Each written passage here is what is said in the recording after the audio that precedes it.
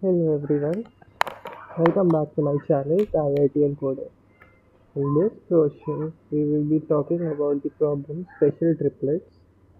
So let us go through the problem once and then we will look at the solution. Uh, I'm not going to share the code in this video because I've seen that people just skip to the code part, don't see the explanation and just copy the code right away. So instead what I'm going to do in this video is I'm going to actually uh, I'm going to actually explain you the whole problem. I'm going to explain the solution and give you some test cases if time permits. And if you still don't get the approach and you want the code, just drop me an email and subscribe my channel. That's all things I need. So I will be happy to help you in that case. So let's start. So Gintoki has been very lazy recently and he hasn't made enough money to pay the rent this month. So this old landlady has given him a problem to solve. The problem is basically that there are three integers a, b and c. They are considered special if it satisfies the following properties for a given integer n. a mod b is c and b mod c is 0 and A, B and C belong to 1 to n. That's all. So let's see how we can actually solve this problem.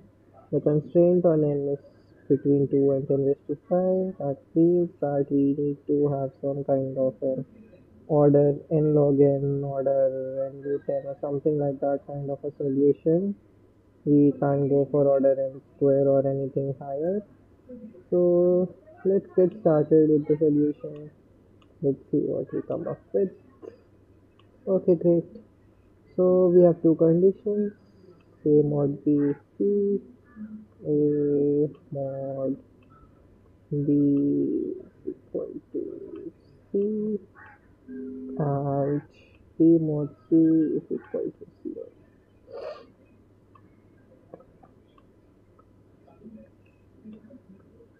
so these are the two problems these are the two statements we have. This is kind of irrelevant right now because I think like assume we don't need it to compute anything. So what does this tell us? So this tells us that a is equal to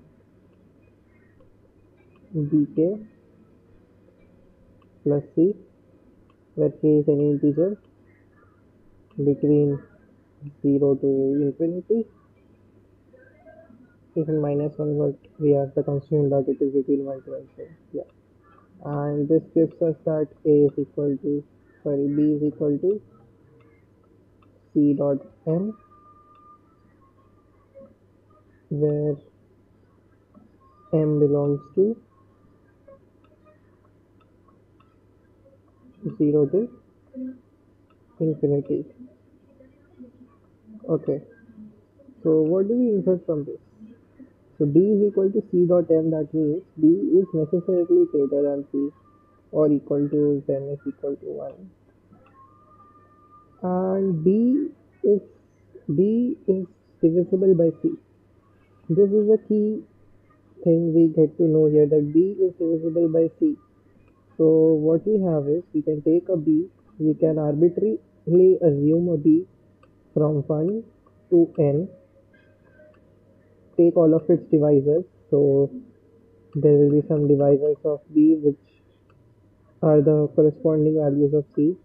Note here that we can't take divisor as 1 and b itself because if we take the divisor as 1 so b mod 1 is always equal to 0 but then a mod b is should be equal to okay but then a mod b should be equal to c. And if a uh, like if b is 1 so if b is 1 then anything mod 1 will always be 0 so c has to be 0 but 0 cannot be done. So that's what we cannot take b equal to 1 so b equal to 1 is not allowed and c equal to b is not allowed so b equal to c is not allowed. Why is b equal to c not allowed? Because if b and c are equal, So anything mod b can never result in any number greater than or equal to b. So c has to be less than b. So with these two constraints, we can take all the divisors from 1 to till whatever is less than c. So we take these divisors. Uh, the number of divisors is order of n raised to 1 by 3. That that makes sense. Order of n raised to 1 by 3 is the number of divisors and for each divisor we can compute the number of values of a which are between 1 and n and which leave a remainder of c when divided by b. So this gives us a time complexity of order of n dot n raised to 1 by 3 which should pass the corresponding time limit for the problem and hence this is a solution. Um, I actually wanted to show you the code for this problem but apparently I cannot. I can just explain this a little more detailed way. So let's take an example and see how this, this happens. So let's take 5 okay that is the biggest number that we have here so let's say 5 so n is equal to 5 so now what we can do is we use 1 2 3 4 5 these are the values of b possible. Now b equal to 1 not possible. B equal to 2 the values of c possible are 1 2 1 3 1 2 4 1 5 b equal to c b equal to c b equal to c b equal to c. Now for b equal to 2 c equal to 1 the corresponding values of a possible are 1 and 3 and 5 1 3 and 5 the corresponding values are 1 and 4 1 and 5 and 1 so that gives us 1 2 3 4 5 6 7 8 okay we missed something for the genus for a mod b should be equal to 1 so 1 3 5 a mod b should be equal to 3 so 1 and 4 a mod b should be equal to okay here there is 2 also so 2 comma so 1 2 3 4 5 6 7 8 9 these are the 9 values. So as you can see this approach works and we did it in order of n dot root n.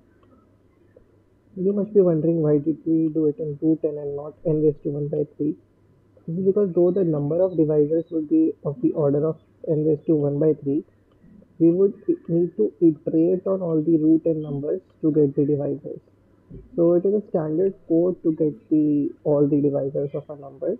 You basically start with 1 and go till square root of n try dividing the number by this i belongs to this try dividing this by this and try dividing n by i and if it is divisible you put n by i and i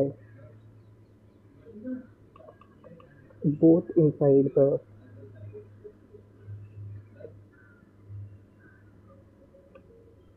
these both are the divisors except if i is equal to square root of n then in that case you don't need to put n by i. You can just put i because n by i will be equal to i in that case. So i hope you understood this and you liked the video so i hope it got recorded yeah it got so that's all folks for this video the time limit is 0.5 seconds and it is sufficient in n raised to 5 to pass with the given things. If you have any doubts, any requests or want the code, want to see anything, just drop me a mail. It is in the about section and don't forget to subscribe and share the channel. Bye bye.